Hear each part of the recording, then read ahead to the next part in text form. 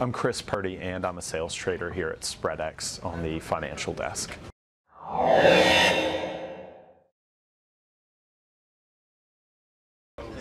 We see a lot of traders who, when they're getting started, will close out a trade as soon as they see a loss. Um, it's very tempting to only focus on the P&L, and if they see red, uh, to cut those losses before they get worse. Sometimes, though, things get worse before they get better. Um, this is very true in financial markets, and it can take a, a stomach of steel to really hold through those losses before your trade becomes profitable. It's equally important to run your winners, though, um, rather than just taking profit as soon as it goes into the black. You may need to hold on for a little while longer and think about the long term trend.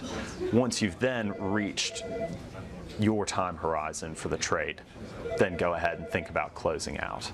But it's always good to have a plan when you go in of what level you want to get out and how long you're willing to hold the trade for things to consider with that would be how much you're willing to pay in overnight funding or what you've paid on the spread for a future contract. If you've bought a future that's three periods out, and if you turn if your trade turns profitable within a week, you've already paid to hold that trade for another nine months. So if you're willing and you think that there is upside or downside potential, continue running it.